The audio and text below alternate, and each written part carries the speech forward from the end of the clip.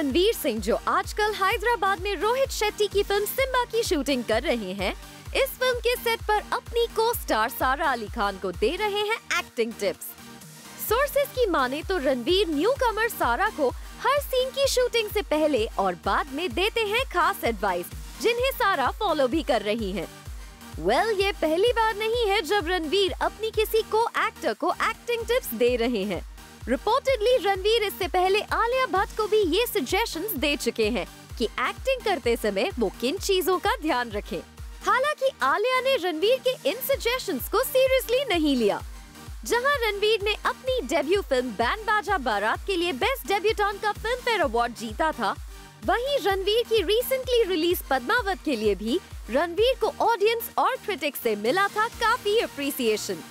Let's see कि रणवीर की ये टिप्स न्यू कमर सारा के लिए कितने यूजफुल साबित होंगे। वहीं जब रणवीर के सारा के एक्टिंग गुरु बनने की रिपोर्ट्स को कंफर्म करने के लिए पीआर टीम से बात की गई तो हमें कोई जवाब नहीं मिला। फ़िलहाल सारा ने अपनी डेब्यू फ़िल्म केदारनाथ की शूटिंग कंप्लीट कर ली है, और अब वो सिम्बा पर करेंगी focus for Jyoti Singh zoom Mumbai